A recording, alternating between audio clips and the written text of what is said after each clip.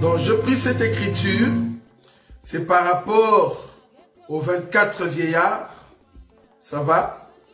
Par rapport aux 24 vieillards, pour ceux qui chantent du genre 24 vieillards sont assis sur le trône et puis ils te louent. Ils disent ils te louent. Nous sommes en train de dire que le 24 vieillard, à l'heure actuelle, alors que nous sommes devant vous, nous sommes en train de prêcher, il n'y a pas encore les 24 vieillards. Si c'est comme ça que vous êtes en train de prêcher ou de chanter, c'est pas juste. Devant le Seigneur, les 24 vieillards ne sont pas encore là. J'ai même entendu euh, une chanson de nos bien-aimés des églises des saints qui a même répété la même chose. Pour le moment, les 24 vieillards ne sont pas encore là. Parce que le 24 vieillards, c'est l'ensemble de ceux qui sont sauvés chez le prophète et de ceux qui sont sauvés chez les apôtres. Parce que le chiffre 24, si vous faites le mélange de 12 patriarches que nous appelons le fils de Jacob et le 12 apôtres, le 12 de ceux qui sont sauvés du côté du patriarche et le 12 de ceux qui sont sauvés du temps des apôtres, c'est-à-dire à la loi et au témoignage. Quand je parle de ceux qui sont sauvés du côté du patriarche, nous sommes en train de parler de David, Ézéchiel, Noé, euh, Daniel, Esaïe, Nahum, tous les prophètes, tous les hommes, ceux qui ont marché dans la loi, au temps de la loi, mais qui ont respecté au fait la parole de Dieu et qui ont été sauvés. Comment? Parce que le Christ devait descendre afin d'ouvrir le séjour de mort et mettre la séparation parce qu'il faut comprendre que depuis du temps de Moïse, la mort régnait. Fallait que le Seigneur vienne afin de libérer en fait ceux qui étaient captifs. Et vous allez voir que quand il a libéré cela, qu'est-ce qui s'est passé? Il y a eu maintenant en fait séparation, c'est-à-dire ceux qui sont dans la lumière, dans le sein, sont partis dans le sein d'Abraham et les autres sont restés dans le lieu de tourment. Ceux qui sont dans le sein d'Abraham et les David et les Esaïe, tous ces gens-là qui sont sauvés au temps de patriarche, au temps de prophète, et les Daniel, et le Pierre, et le Jacques, qui sont sauvés au temps de douze euh, apôtres, c'est-à-dire au temps de la grâce, les deux, au fait, forment le 24. Mais quand est-ce que le 24 va monter comme étant un peuple qui adore Dieu? Ils vont monter quand nous aussi nous allons monter. Lors de l'enlèvement, parce que la masse, la grande masse de Ève, c'est ça au fait le 24 vieillards. Vous voyez? La grande masse attend à ce que nous puissions parfaire notre foi, parfaire notre façon de vivre. C'est alors que nous allons monter lors de l'enlèvement. C'est ça la femme, la nouvelle Jérusalem qu'on a vue. Le peuple qui loue Dieu. Remarquez. Remarquez, je vais prendre une écriture. Ah, c'est grave. Ah, le 24 vieillards,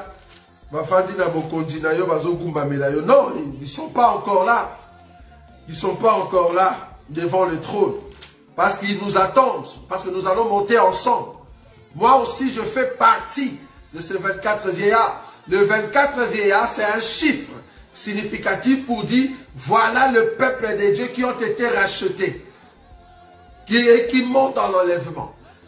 Pour faire la différence entre les 24 vieillards et ce que je vais donner maintenant. Remarquez, Apocalypse. Apocalypse chapitre 7. Remarquez cette écriture. Apocalypse chapitre 7. Apocalypse chapitre 7. Je prends l'écriture, le verset le verset 11. Et tous les anges se tenaient autour du trône, des vieillards et des quatre êtres vivants. Ils se prosternaient sur leur face devant les trônes et ils adorèrent Dieu en disant Amen.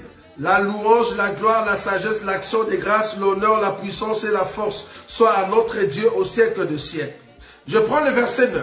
Après cela, je regardais, et voici, il y avait une grande foule que personne ne pouvait compter, de toute nation, de toute tribu, de tout peuple et de toute langue. Ils se tenaient devant les trônes et devant l'agneau, revêtus des robes blanches et des palmes dans leurs mains. Et il cria d'une voix forte en disant, les saluts et à notre Dieu qui est assis sur le trône et à l'agneau. Maintenant le verset 13. Et l'un des vieillards prit la parole et me dit, ceux qui sont revêtus des robes blanches, qui sont-ils et d'où sont-ils venus? Je fais la différence ici entre les vieillards et la foule. La foule ici, c'est la Vierge folle. Mais les vieillards, c'est tous ceux qui vont monter en enlèvement. Le vieillard, parce que le vieillard, l'expression vient, parce que ça c'est une vision. Ce n'est pas une réalité, c'est une vision. Il faut expliquer la vision. C'est pas qu'on va monter là-bas, on voit des vieillards. Quand on dit vieillard, toi tu, portes, tu vois vraiment un vieux quoi. Donc dans ta tête, tu vois un vieux. Quand on dit un vieillard, c'est-à-dire quelqu'un qui est arrivé à la maturité. Quelqu'un qui est devenu saint accompli. C'est ça l'explication de vieillard. Ne vois pas vieillard, donc un vieux, un vieux. Non. Quand on dit vieillard, cela veut dire des personnes arrivées à la maturité. Donc, les vieillards ici, c'est ceux qui vont monter en l'enlèvement. Maintenant, à part cela, il y a aussi la Vierge folle. Pourquoi la foule Les nations, les peuples, tout ça, c'est la Vierge folle. Regarde la réponse du vieillard. Le verset 14. Je lui dis, mon Seigneur, tu le sais. Et il me dit, parce que ça c'est une vision. Je répète, ce n'est pas une réalité, c'est une vision. Jean est en train de voir une vision. Le 24 vieillard, c'est une vision qui viendra. Ça va? 14. Je lui dis, mon Seigneur, tu le sais. Et il me dit, ce sont ceux qui viennent de la grande tribulation. Alors, Euh, ils viennent de la grande tribulation. Donc les peuples les nations que vous avez vus devant les trônes, ce ne sont pas ceux qui vont aller à l'enlèvement, non. Ils viennent de la grande tribulation. Or, toi et moi, nous savons que nous allons monter avant la grande tribulation. Or, quand il y aura la grande tribulation sur terre, nous serons dans le ciel en train de louer, d'adorer Dieu. C'est ça les vieillards. C'est ça les vieillards. Maintenant, la foule qui va rester sur terre, c'est ça la foule au fait qu'on appelle la Vierge folle et les 144 000. D'accord Ça c'est pour Israël. Mais la foule va passer par la grande tribulation. Maintenant, lors de, retour, Lorsque nous allons retourner sur terre pour régner sur terre. Parce que cette écriture, les trônes en question, c'est sur terre. Ce n'est pas dans le ciel. Il faut lire la Bible avec les yeux de Jésus. Il faut voir les écritures et avoir la langue de Jésus. Cette écriture, c'est sur terre.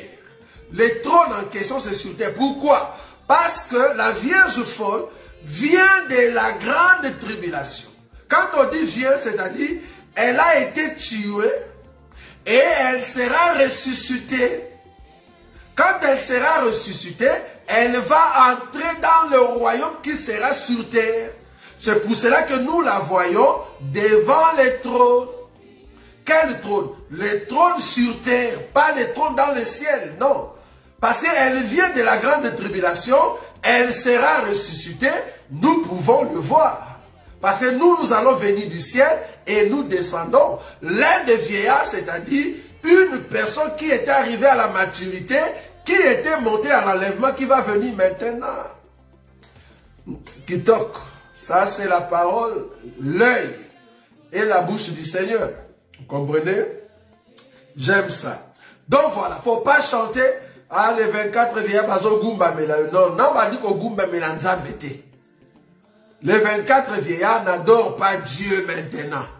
S'ils vont adorer Dieu maintenant, c'est parce que ils sont pas encore des vieillards, à moins que ceux qui sont morts.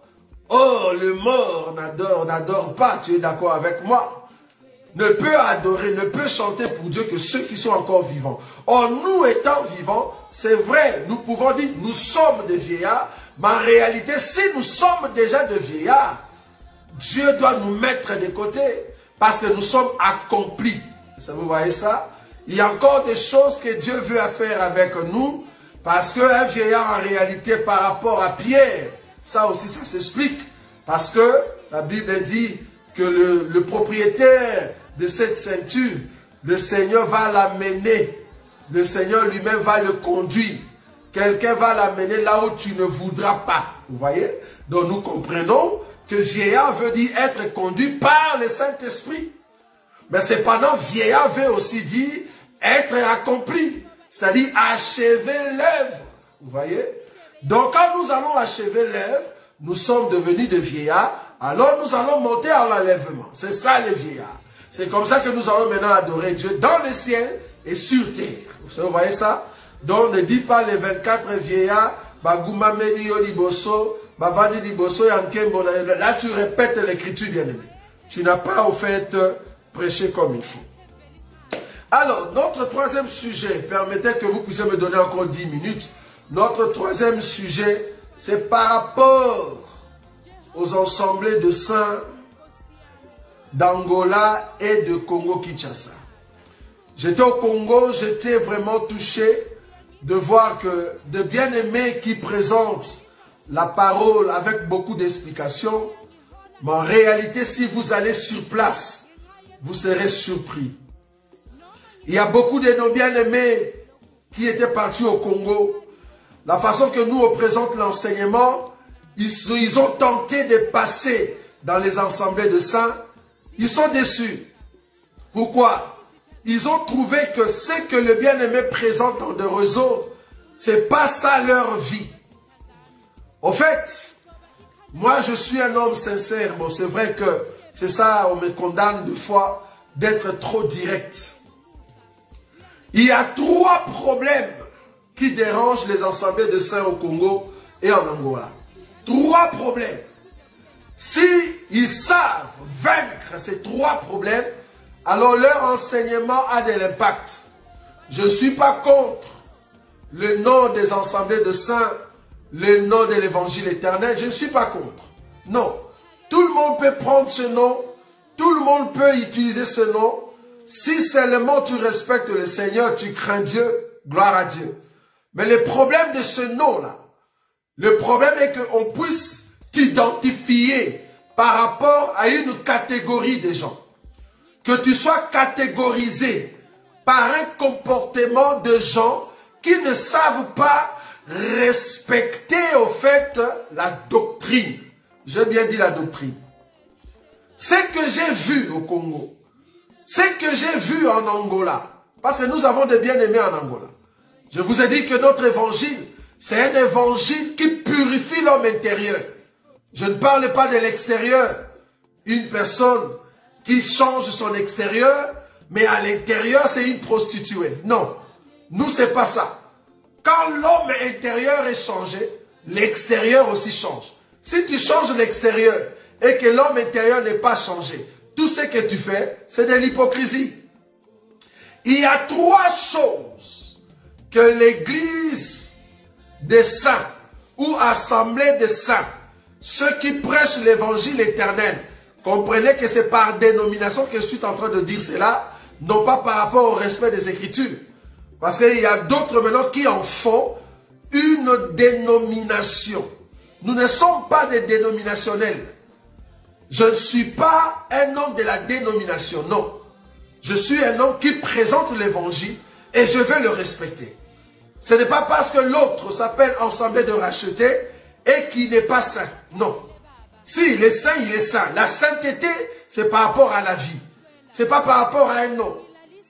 Il y a trois choses que j'ai vues dans les assemblées de saints, si vous ne changez pas cela, si beaucoup d'entre vous, prédicateurs de l'évangile éternel, prédicateurs de l'évangile de l'éternité, si vous ne changez pas ces trois choses-là, beaucoup d'entre vous vont aller en enfer.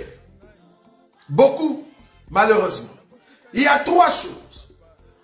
Premièrement, ce que j'ai vu chez les assemblées de saints, c'est la cupidité. La cupidité, j'ai bien dit la cupidité, c'est-à-dire un homme de Dieu qui se dit des assemblées de saints dénominationnels, si tu es avec lui, regarde bien, c'est un homme cupide qui aime beaucoup l'argent. C'est pas bon ça. Un homme de Dieu n'aime pas beaucoup l'argent, bien aimé. Va travailler. Va travailler. Un homme de Dieu ne peut pas aimer beaucoup, j'ai bien dit aimer beaucoup l'argent. Donc à chaque fois, il va commencer à te déranger. Donne-moi, donne-moi, donne-moi. Quand tu donnes pour les enfants, il te dit donne pour l'œuvre. Quand tu donnes pour l'œuvre, il te dit donne pour la rentrée. Quand tu donnes pour la rentrée, il te dit donne. Donc, c'est ce qu'on a vu dans les églises des réveils. La cupidité. C'est grave. J'ai vu des églises de ça qui ont mis 4, 5, 6 paniers des offrandes. Je demande pourquoi? Pourquoi? Il faut nous donner l'explication. Nous sommes dans un, évangile là où il y a l'explication. Donnez-nous l'explication de six paniers. Est-ce qu'il est utile vraiment de mettre six paniers? À part les six paniers, pourquoi tu prends les numéros de frères et sœurs et tu les appelles pour leur demander de l'argent? Pourquoi? Pourquoi? Tu es au Congo, mais tu as les numéros de gens qui sont en Suède, tu as les numéros de gens qui sont en Allemagne, France, Belgique, États-Unis. Tu les appelles tout le temps. Soit disons tu as besoin d'argent. Mais tu prêches bien. Comment est-ce que Dieu ne peut pas envoyer le Fils de la paix? Parce que la Bible dit, partout où vous irez, vous allez trouver le Fils de la paix. Pourquoi est-ce que Dieu n'envoie pas le Fils de la paix vers vous pour vous donner de l'argent? Mais c'est vous qui allez vers le Fils de la paix. C'est parce que quelque part, vous êtes des cupides. Vous aimez beaucoup l'argent. Et ça va vous amener en enfer. Parce que les cupides n'hériteront pas le royaume des cieux. Un homme de Dieu n'aime pas beaucoup d'argent. Non. L'argent est utile, c'est vrai. Nous pouvons l'utiliser parce qu'on a besoin. Mais tu ne peux pas aimer beaucoup l'argent. J'ai bien dit beaucoup. Tu demandes trop. Et ça fait honte. Un homme de Dieu qui demande tout le temps. C'est pas bon ça. Va travailler. C'est pas un péché d'aller travailler. Tu vois que tu ne travailles pas. Tout le temps tu demandes en Europe, aux États-Unis, Canada, tu as besoin d'argent. Quelle insulte. Tu n'as même pas honte. Va travailler, crée une société, comme ça tu auras de l'argent. Parce que Dieu te bénira l'œuvre de tes mains. Qu'est-ce que toi tu fais? Tu fais rien du tout. Je vous dis, il y a un homme de Dieu. Parce que si je le dis, c'est par rapport à ce que j'ai vécu, à ce que j'ai vu. Un homme de Dieu qui était soi-disant en train de construire un temple. C'est un homme de Dieu des assemblées de saints. Je ne parle pas des églises de réveil. Cet homme m'a harcelé. J'ai bien dit le mot harcelé. Il m'a harcelé pour que je puisse participer à la construction de son temple. Temple des, des assemblées des saints. Les temples des assemblées des saints. Donc il voulait à tout prix que je puisse participer. Il commence à me donner des versets. Il pense que je suis un homme qui est influencé par des versets. Non. Quand tu amènes un verset tordu, un verset comme les diables, je vais t'amener, il est aussi écrit. Nous sommes versés dans, dans, les Écritures, bien aimés. Donc ne m'amenez pas des versets pour me baratiner parce que je suis en Europe que je puisse t'envoyer de l'argent. Si Dieu ne me touche pas, je ne te donne pas. Si Dieu ne me touche pas, je ne te donne pas. Parce qu'il faut que la foi que tu as, la paix qui est dans ton cœur, que Dieu puisse communiquer cette foi en moi, afin que je puisse t'aider. C'est pas parce que tu prêches cet évangile que je serai là derrière toi pour t'envoyer de l'argent. Si je ne suis pas touché, je ne te donne pas, bien-aimé. Même si tu m'amènes des versets, je ne vais pas te donner. Si tu veux créer ton temple des assemblées de saints, ça te regarde. Va créer. Nous, nous n'avons pas de temple à construire. Allez construire vos temples.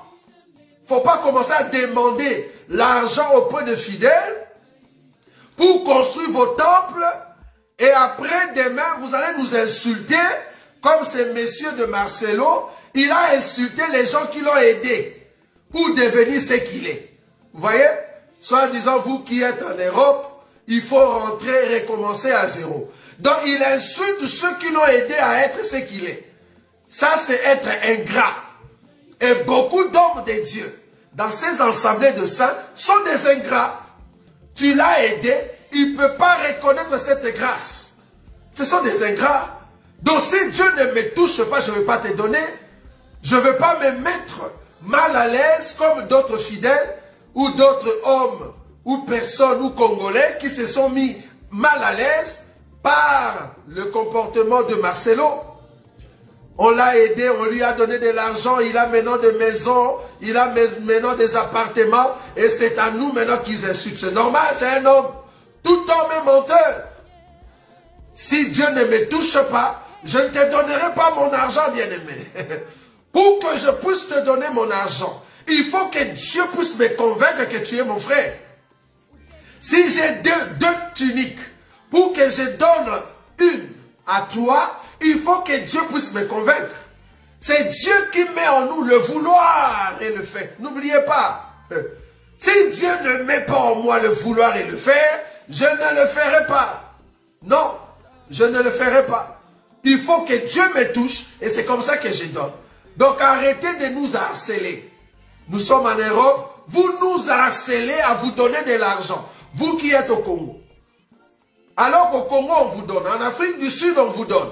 Ici, en Europe encore. Mais qu'est-ce que vous faites avec cet argent? Qu'est-ce que vous faites? Et à part ça, vous demandez encore des dîmes. Mais vous êtes des voleurs? C'est grave. Il y a même un qui a osé dire. Parce qu'il y a un bien-aimé qui est au Congo, je crois, elle, est déjà rentrée. C'est une sœur qui est en Afrique du Sud que j'étais son nom ici. Cette sœur est partie au Congo. Et l'erreur, j'appelle ça erreur. L'erreur que cette sœur a fait, c'est d'aller dans les assemblées de saints au Congo. J'ai bien dit au Congo. Parce qu'il faut bien vérifier. D'aller dans les assemblées des saints au Congo. La sœur est partie, elle était déçue. L'enseignement, il n'y a pas de souci. Mais la doctrine, Kobi Kaliloba, Kobi Kaliloba, elle était déçue. Elle dit, mais c'est comme si nous, en Europe, on prêche mieux que ceux qui sont au Congo. Et l'homme de Dieu en question qui était à côté, je ne sais pas, la soeur a posé la question à un prophète en disant que mais, ce que vous faites, c'est en dehors de l'enseignement parce que nous avons nos frères en Europe qui nous prêchent. Exemple, le frère Roger, il nous... Ah, mais votre frère Roger là est venu ici au Congo, il nous a demandé pardon. Moi, Roger, je suis parti au Congo dans une assemblée de saints et j'ai demandé pardon. Je ne sais pas si vous avez vu cette vidéo. En tout cas, s'il y a des hommes de Dieu qui sont partis dans les assemblées de saints pour aller demander pardon, en tout cas pas moi.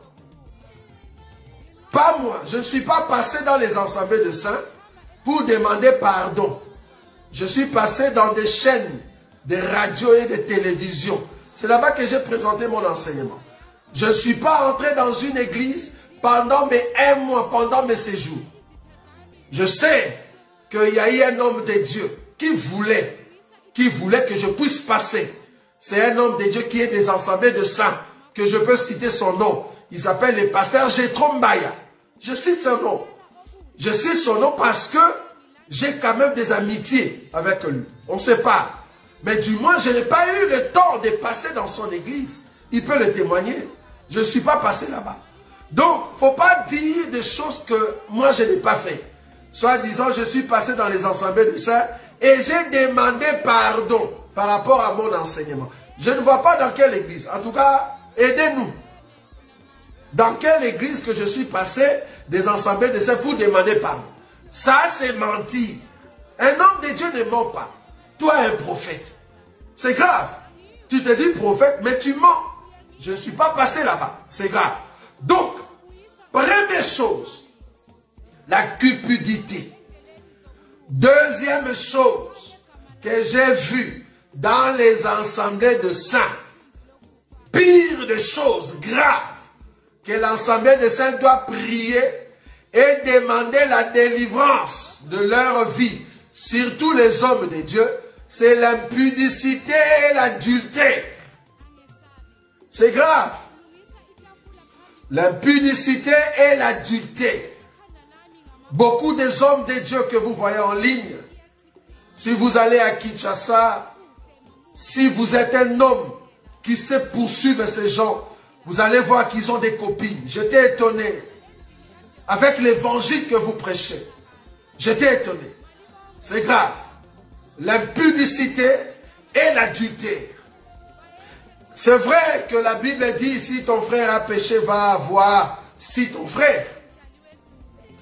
La Bible dit, si ton frère a péché. La Bible n'a pas dit, si ton prochain a péché. Non. La Bible dit, si ton frère a péché. Donc, il faut que je reconnaisse que tu es mon frère et que quand tu pêches, je viens te voir. Mais si moi, je ne reconnais pas que tu es mon frère, quand tu pêches, je ne viens pas te voir. La Bible n'a pas dit si ton prochain a péché. Non. La Bible dit si ton frère a péché, va le voir. C'est ça l'écriture. Il faut bien lire l'écriture. Ce n'est pas tout homme. Il faut que tu sois mon frère. Oh, pour que tu sois mon frère, je dois voir la sémence du Père en toi. C'est alors que quand tu pêches, je viens te voir. Parce que je ne peux pas te mettre à nu. Parce que tu es mon frère. Mais si tu es un homme de la rue qui se dit chrétien, qui ne vit pas la doctrine, la parole de Dieu, comment est-ce que tu es mon frère? Donc quand nous disons que le bien-aimé des ensembles de saints, nous ne saurons pas dire que vous êtes nos frères. Nous ne saurons pas dire, je parle ici de la dénomination, comprenez-moi, de la dénomination, parce qu'il y a beaucoup qui sont dénominationnels. Comment est-ce que je peux dire que vous êtes nos frères, alors que vous êtes encore des cupides, vous êtes encore des impudiques et des adultères. Vous demeurez encore dans ces choses, des copies. Il y a même un, plusieurs. Je peux commencer à citer vos noms, c'est grave. Mais je tais. Parce que vous savez, quand tu appelles des bien-aimés ici en Europe, deux fois, c'est comme si vous n'êtes pas prudent. C'est vraiment honteux. Vous n'êtes même pas prudent. Donc vous appelez des sœurs ici en Europe et tu tiens des conversations du genre impudique à une sœur qui est ici en Europe que tu n'as jamais vue et que tu demandes des images et des photos et tu penses que nous, on n'a pas tes photos. Mais tu te dis, homme de Dieu dans cet évangile éternel. C'est grave. Nous ne voulons pas vous mettre à nu. Parce que vous allez fuir même les réseaux sociaux. Arrêtez cette impudicité. Arrêtez cette vie d'adultère. Vous avez des femmes, mais vous appelez des sœurs ici en Europe. Tu es marié à Kinshasa, On te connaît. Toi, prophète. Toi, docteur toi évangéliste, toi pasteur, toi je ne sais pas quoi. On te connaît et tu prêches aussi dans des réseaux sociaux. Mais quand tu appelles les sœurs ici et que tu changes de langage, de foi, on a tes images. Arrêtez parce qu'un jour, on va vous mettre à nu. C'est grave. Alors qu'il y a même beaucoup d'entre vous qui demandent, voilà, j'ai un tel message. Envoyez vos numéros WhatsApp, si c'est quoi là, je vais vous envoyer de, de messages. Quand vous envoyez des numéros, ah non, je n'ai pas de mégas. Envoyez-moi de l'argent pour mettre des mégas et c'est comme ça que je vais vous envoyer des enseignements. Tu commences à vendre des enseignements sous prétexte de mégas. Tu es un voleur, un cupide. Qu'est-ce que je peux dire? C'est la cupidité ça. Il n'y a personne qui a besoin que tu puisses nous envoyer des enseignements moyennant des mégas ou de l'argent. Si tu veux envoyer, mets-le sur YouTube. Mets l'enseignement sur YouTube, tout le monde va le prendre. Au lieu de nous dire, envoyez des, des, numéros. Comme ça, je vais vous envoyer des messages. Mais moyennant quelque chose, parce que je n'ai pas de mégas. Mais tu demandes de l'argent. Maintenant, tu ne sais pas si c'est un million de personnes qui ont besoin de ça. Supposons qu'une personne t'envoie un euro.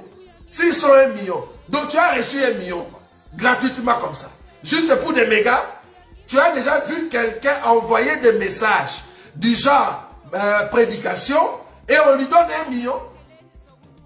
Envoyez-moi des mégas. Je n'ai pas de mégas pour vous envoyer des messages. Donc, quand on envoie un euro, on est un million. Donc, tu reçois un million. Tu deviens millionnaire. C'est du vol. C'est ça la cupidité que je suis en train de condamner ici. Vous voyez? Donc l'impudicité, l'adultère, la cupidité. Troisième chose.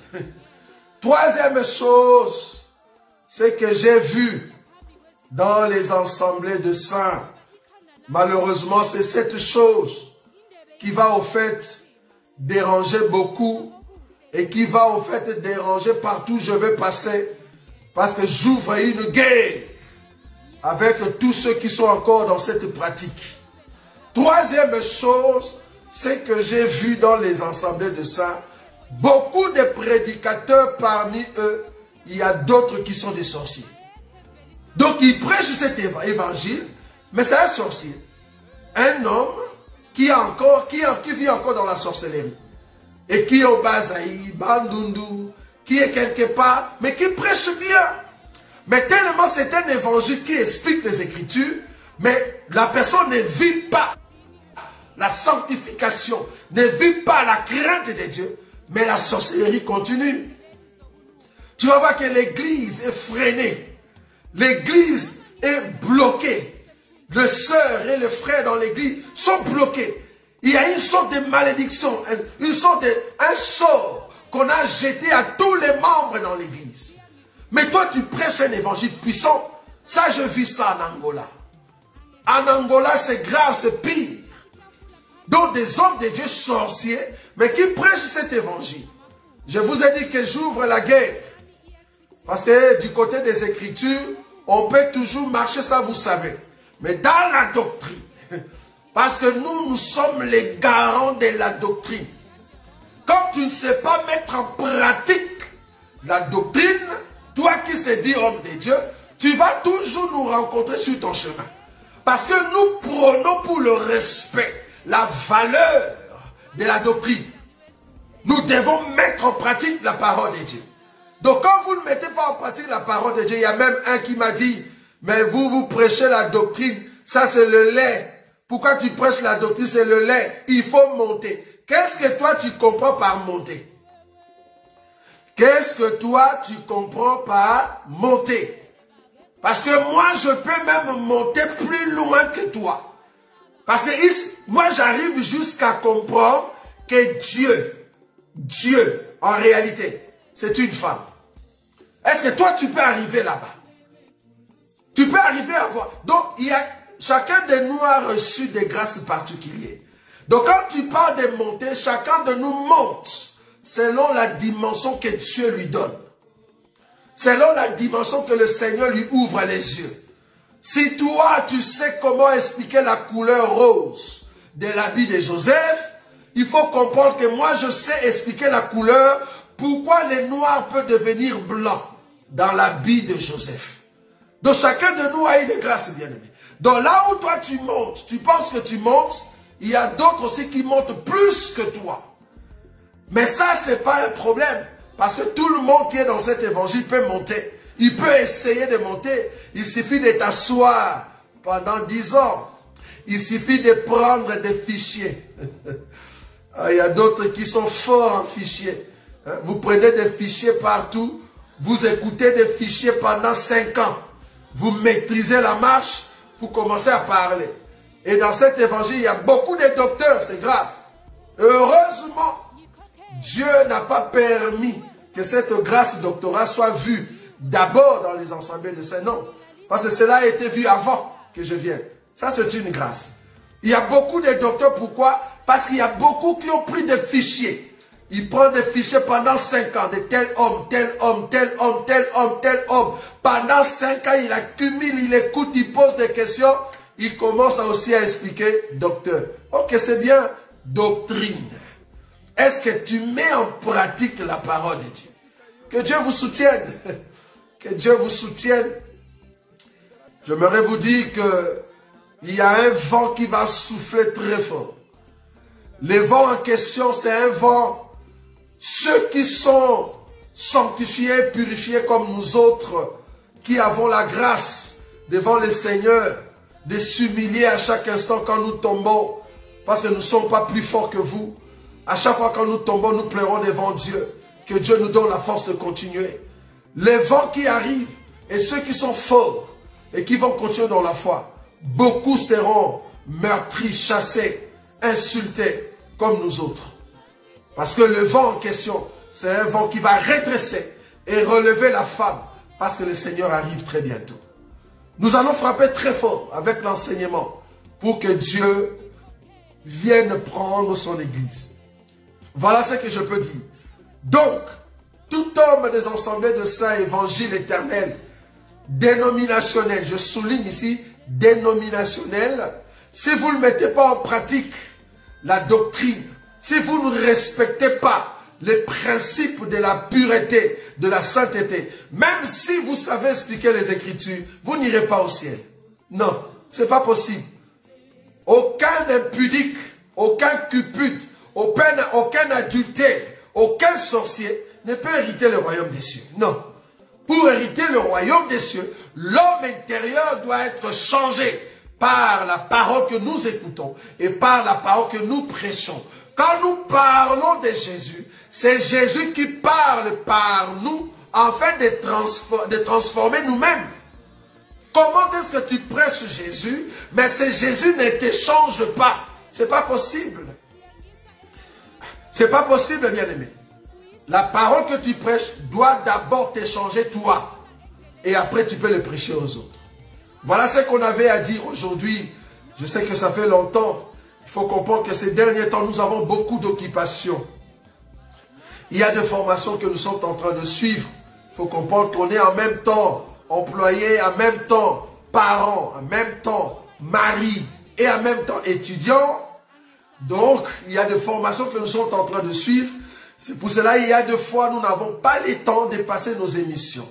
Donc Dieu permettra à ce que nous puissions trouver des temps pour passer les émissions. Parce que là, on a déjà repris, en fait, euh, l'école, donc haute école, au niveau universitaire. Donc, étant étudiant, c'est pas facile, parce que nous continuons toujours à étudier pour apprendre encore beaucoup de choses. Donc, quand on aura le temps, on va toujours passer notre émission. Donc, voilà. Deuxième communiqué. Le 1er, le 2, le 3 octobre, nous sommes à Paris, Villeneuve-Saint-Georges. Nous avons déjà donné de, flyers que nous avons déjà envoyés. Pour ceux qui aimeraient voir l'adresse, nous serons là le 1er, le 2 et le 3. Allez trouver nos adresses à Villeneuve-Saint-Georges, là où nous allons passer une conférence questions-réponses pour que le peuple de Dieu reçoive la connaissance de la part du Seigneur. Le vendredi, nous aurons une action en fait évangélique. C'est une manière de présenter la parole de Dieu évangéliquement. Voilà. C'est ça, action évangélique. Et puis le samedi et dimanche, ça sera question-réponse. Le thème de ce trois jours, la reine des sabbats. Nous voulons expliquer au peuple de Dieu que c'est Salomon qui possède la sagesse et la reine des sabbats viendra au fait pour poser des questions et trouver des réponses à ces questions. Donc voilà un peu ce que nous allons présenter. Donc voilà, que Dieu vous bénisse. Je sais que ça fait longtemps, mais bon, comprenez que le roi des gloires va nous accorder la grâce.